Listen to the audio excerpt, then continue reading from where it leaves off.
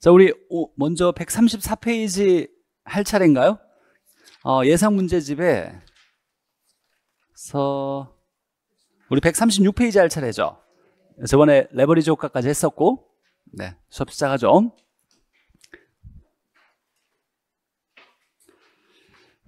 안녕하세요. 자, 오늘 이제 어, 5주차 어, 휴가 잘 보내셨죠? 이제 입시 아 뭐 원서 접수했으니까 입시래 원서 접수했으니까 열심히 하셔야죠. 자, 오늘 투자론이죠. 내용 요약집의 내용 정리 먼저 하고 자, 보죠. 자, 요약집의 134페이지인데 투자의 위험과 수익 어, 투자론에서 가장 기본적으로 이 내용에서 한 문제가 출제가 될 건데 투자론이 우리 학기론 단원 중에 가장 많이 출제되는 단원이에요. 8문제 출제됐어요, 작년에. 올해 적어도 7문제 정도는 출제될 가능성이 높은 거고. 그래서 합격을 결정하는데 35에 가장 중요한 단어는 투자론일 것 같아요. 투자론 열심히 하셔야 되고 어렵긴 하지만 어렵다라고 해서 덩어리로 버리시면 안 되고 항상 그 부분에서 이것만은 꼭 기억해라 라고 제가 말씀하면 그 부분만은 꼭 암기하고 이해하고 정리하려고 노력하셔야 돼요. 자, 투자의 위험과 수익, 위험과 수익에서 먼저 보죠. 위험의 의미. 반드시 알아야 될 거죠. 자, 위험이란 예상한 결과와 실현된 결과가 달라질 불확실성을 의미한다. 이때 중요한 건 불확실성이라는 단어가 나오면 위험을 얘기하는 거예요. 그러니까 투자할 때 위험은 투자할 때 우리가 수익을 얻을 거라고 기대하고 투자하죠. 기대하죠. 근데 수익은 현재 발생한다, 미래 발생한다. 미래 발생해요. 그럼 처음에 예상했던 거, 기대 수익률이죠. 예상 수익률, 기대 수익률을 가지고 바탕으로 투자를 했는데 막상 미래에 가보니까 실제 예상했던 것과 달라질 가능성이 분명히 있죠. 이 달라질 가능성을 뭐라고 한다? 투자의 위험이라 그래요. 위험. 그럼 위험이 크다는 건 내가 10% 기대했는데 마이너스 10%가 나왔어요. 위험한 거 위험하지 않은 거예요. 위험했던 거예요. 그러면 10%를 기대했는데 나중에 보니까 그대로 10%가 나왔어. 그럼 예상한 대로 그대로 나온 거죠. 그럼 전혀 위험하지 않았던 거예요. 근데 10% 기대했는데 나중에 보니까 100%가 나왔어 수익률이. 위험한 거에 위험하지 않은 거예요. 위험한 거예요. 예상하지 못한 일이 발생한 거예요. 그러니까 예상하지 못한 일이 발생해서 예상했던 것과 달라진 결과가 많이 나왔다는 건 이 투자는 위험했던 거다. 그래서 불확실성을 투자 위험이라고 하고 위험을 나타낸 척도, 수익률의 분산과 표준 편차. 이건 시험 문제 100% 나올 거니까 잘 기억해놔야죠.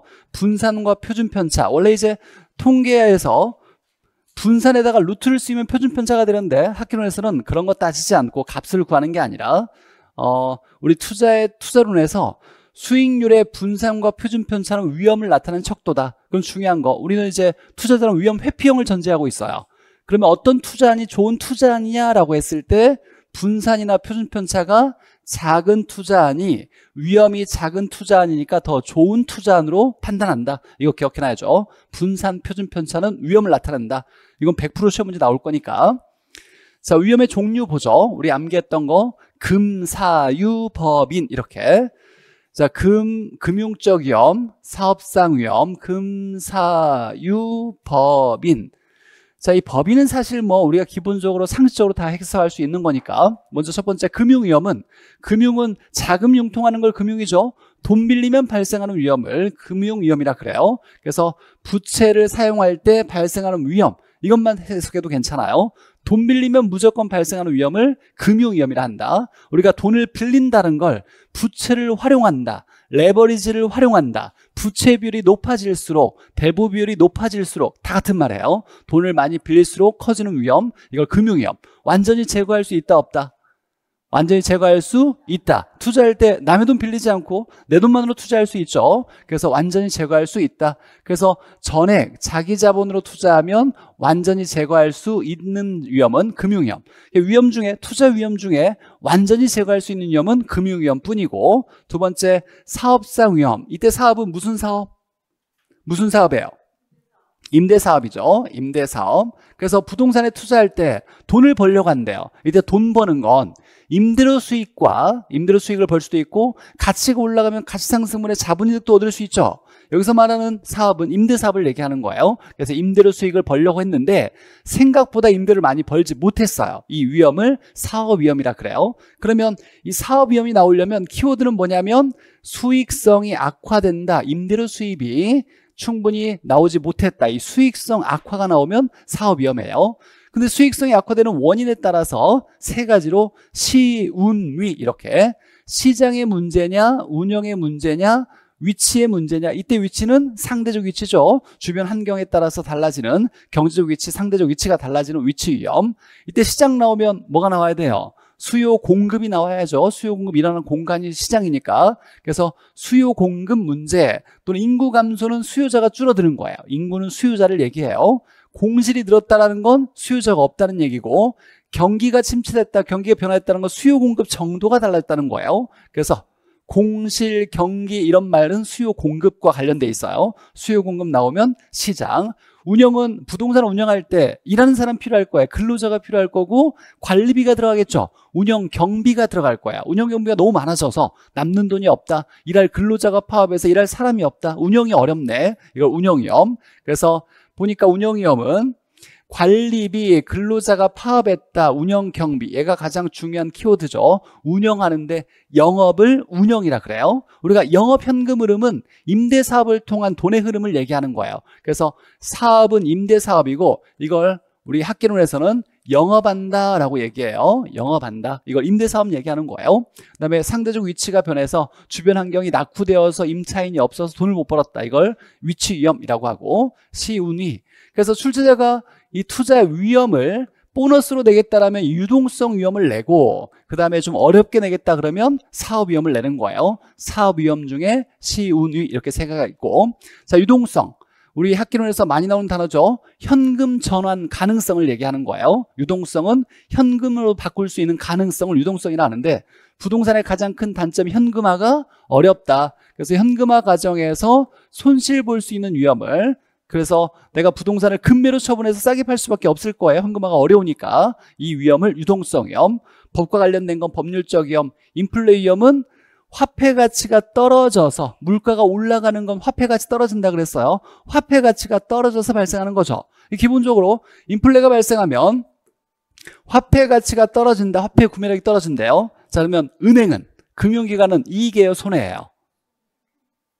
그렇게 답이 자신이 없어요. 은행은 돈 빌려주고 이자를 받아서 살아가는 데잖아요.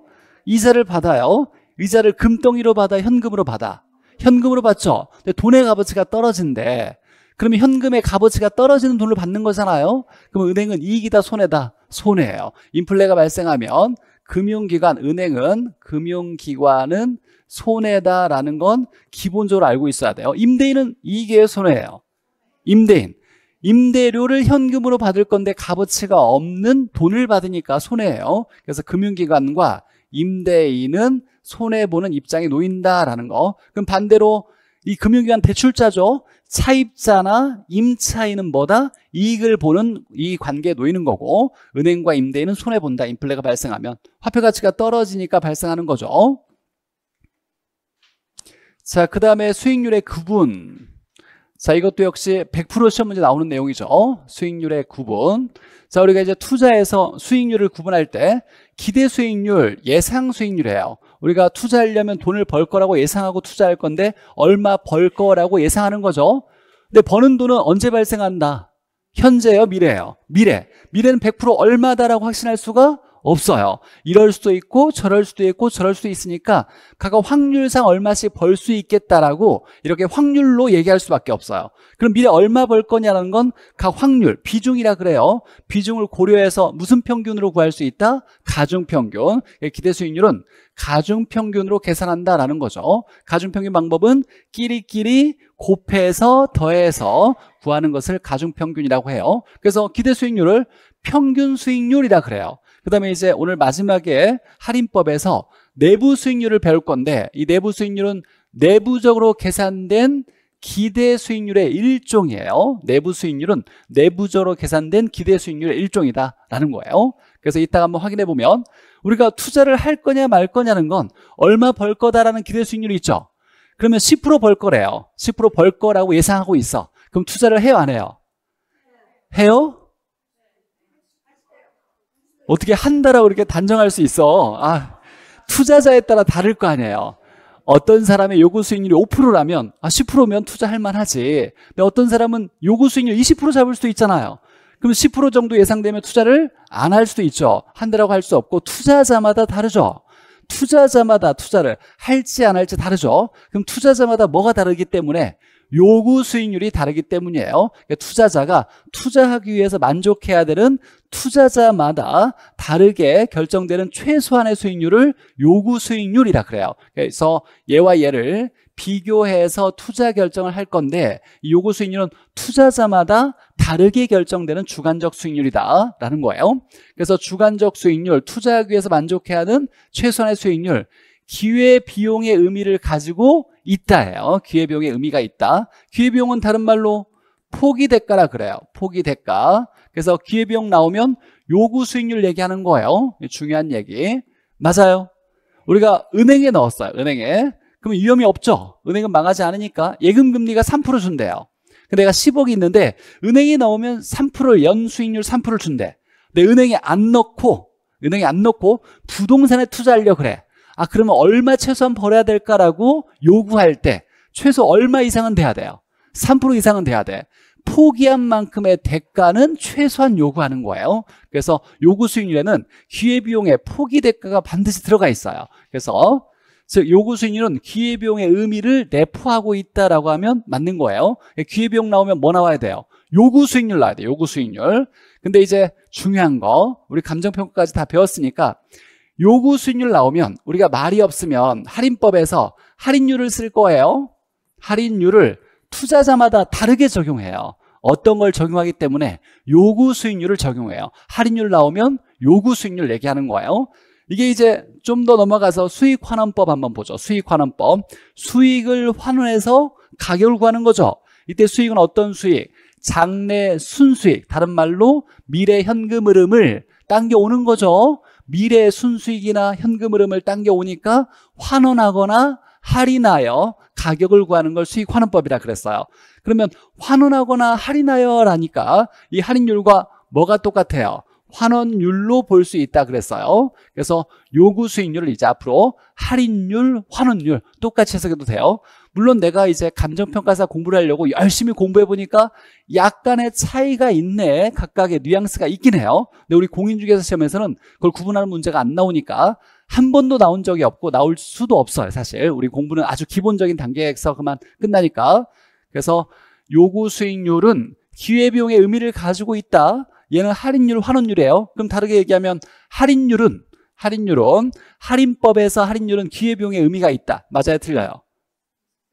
맞아요, 틀려요? 맞아요. 수익환원법에서의 환원율은 자본 환원율은 기회비용의 의미가 있다. 맞아요? 맞아요. 이제 앞으로 이제 요구 수익률 내용은 다 할인율, 환원율 똑같이 적용해서 해석해도 괜찮아요. 자, 투자에 대한 위험 때문에 투자하기 위해서 만족해야 될, 충족해야 될 최선의 수익률, 요구 수익률, 포기 대가에 포기해야 되는 대체 투자의 수익률이라는 점에서 기회비용의 의미를 가지고 있다. 자, 투자의, 투자자마다 부동산에 대한 위험의 태도가 같아요, 달라요? 다르죠? 어떤 부동산을 엄청 위험하게 보는 사람이 있어요. 이런 걸 보수적 투자자.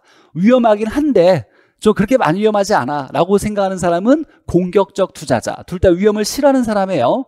위험 회피형 투자자를 두 개로 구분하면 보수적 투자자, 공격적 투자자. 이때 위험을 엄청 싫어하는 사람 부동산을 엄청 위험한 투자 대상으로 보는 사람을 보수적 투자자라고 얘기할 거예요. 자 그러면 보죠. 이때 요구 수익률은 뭐와 뭐의 합으로 이루어져 있다? 무위험률과 위험할증률. 어, 왜 이렇게 기운이 다 없어 요구수익률은 무위험률과 위험 할증률의 합으로 구성되어 있다라는 거죠. 이건 뭐 반드시 외워놔야죠. 예상 인플레이율이 발생하면 미래 인플레이율이 발생할 것 같대요. 그럼 돈의 값어치가 떨어지겠죠. 그럼 버는 사람 입장에서 투자하려는 사람 입장에서 어, 돈의 값어치가 떨어진다고 그럼 이 정도는 더 벌어야 되겠지라고 생각할 거예요. 그래서 인플레율이 발생할 거라고 예상되면 인플레율만큼 더 더해서 요구 수익률을 정하기도 해요. 이걸 피셔라는 학자가 얘기했던 얘기해서 피셔 효과라고 해요. 기본적으로 무위험률과 위험할증률의 합을 요구 수익률로 정한다. 이 무위험률은 위험하지 않는 수익률 뭐가 있어요? 위험하지 않는 수익률 예금금리, 시장금리, 국채금리, 예금금리, 시장금리를 얘기해요. 무위험률은 예금금리를 얘기한다. 엄청 중요하죠. 위험 할증률은 위험 대가를 얘기하는 거예요. 위험이 크게 느껴질수록 야 더 좀 많이 벌어야 되겠지라고 생각하는 거예요. 그래서 위험이 커질 때 더 많이 벌고자 하는 위험 대가를 위험 할증률. 위험 할증률의 뜻은 위험이 커짐에 따라 할증은 높여주는 수익률을 얘기하는 거예요. 위험이 커짐에 따라 높여주는 위험 대가, 위험 보상률을 위험 할증률이라 그래요. 그래서 위험이 커지면 더 원하는 대가를 위험 대가를 위험 할증률이라 한다. 결과적으로 중요한 거. 자 그러면 무위험률이 커지면 요구 수익률 커져요, 작아져요? 더해서 얘가 되니까 커지죠. 위험 할증률 커지면 커져요, 작아져요? 커져요. 그러니까 요구 수익률은 무위험률이 커져도 커지고 위험 할증률이 커져도 커지는 거예요. 자 그럼 이제 해석하면 자 무위험률 커져도 커진다라는 건 시장 금리가 높아지면 요구 수익률 뭐 한다? 커진다라는 거예요. 그러면 위험 할증률 얘기할 때 위험을 엄청 싫어하는 투자자일수록 보수적 투자자일수록 부동산을 엄청 위험하게 보는 거예요. 그럼 위험 대가를 높일 거 아니에요. 그러면 보수적 투자자일수록 위험 할증률 높일 거니까 요구 수익률 커진다. 부동산 전체 위험이 커지면 위험이 커지고 있대. 이때 체계적 위험이란 말을 쓰는데 그건 중요한 건 아니고 위험이 커지면 뭐가 높아져야 돼요? 위험 할증률이 커져서 요구 수익률이 뭐 한다? 커진다라는 얘기예요. 그래서 금리 커져도 커지고 위험이 커져도 커지고 보수적 투자자일수록 또 커진다라고 해석해야 돼요. 자, 그래서 가장 중요한 거 요구 수익에 대한 대, 내용이고 가장 중요한 건 보수적 투자자일수록 결국 요구 수익을 어떻게 결정한다? 높게 결정한다. 그럼 요구 수익이 커지면 투자를 많이 해요? 적게 해요? 요구 수익이 커진데 투자를 잘하는 거야? 잘 안 하는 거야? 잘 안 하는 거예요? 그렇게 대답들이 이렇게 이상하죠. 다들 너무 공부를 좀 등한시했나? 휴가 보낸다고? 자, 보죠. 기대와 요구 중에 누가 커야 돼요? 기대가 커야 투자를 하는 거죠. 내가 5%, 야, 최소한 5% 벌면 투자할 거야 라고 요구하고 있는데 예상되는 게 10% 이렇게 된다면 투자를 한다죠. 채택한다. 내가 커지면 투자를 안 한다. 우리 요구가 나오면 요구가 작아야 투자를 잘하는 거예요. 요구가 커지면 투자를 안 한다요. 뭔가 일이 벌어지려면 요구가 작아야 된다 그랬어요. 우리 크리스탈러의 중심지론에서 재화 도달 범위와 최소 요구 범위 중에 누가 작아야 중심지가 형성된다? 최소 요구 범위가 작아야 중심지가 형성된다. 이런 얘기였어요. 저당의 유동화에서 저당 수익률, MBS 수익률, 투자자의 요구 수익률 누가 가장 작아야 돼? 투자자의 요구 수익률이 가장 작아야 돼요. 저당 수익률이 가장 커야 저당 유동화가 잘 돌아간다라는 얘기였어요. 어쨌든 요구는 무조건 작아야 일이 벌어지는 거예요. 요구가 커지면 투자를 잘 안 한다. 보수적 투자자일수록 부동산에 투자를 잘 안 한다. 이렇게 되는 거예요. 자, 실현 수익률은 실현, 결정된 투자가 이루어진 다음에 달성된 수익률이고 이미 투자가 이루어진 다음이니까 투자를 할지 말지와는 관련이 없다. 투자 판단과는 관련이 없다라고 해석해야 되고 자, 그래서 이 세 개, 기대 수익률, 요구 수익률, 실현 수익률 세 개 기억해 놓고 투자 판단은 뭐와 뭘로? 기대와 요구로 이루어진다. 자, 기대 수익률은 예상 수익률, 예상되는 미래에 대한 얘기니까 가중평균으로 계산하고 투자자마다 다른 건 요구 수익률이에요. 요구 수익률 시험 문제 100% 나올 거니까 잘 정리해 놓고 자, 기대 수익률은 가중평균으로 계산한다라는 거고 음, 넘겨서 넘겨서 보죠.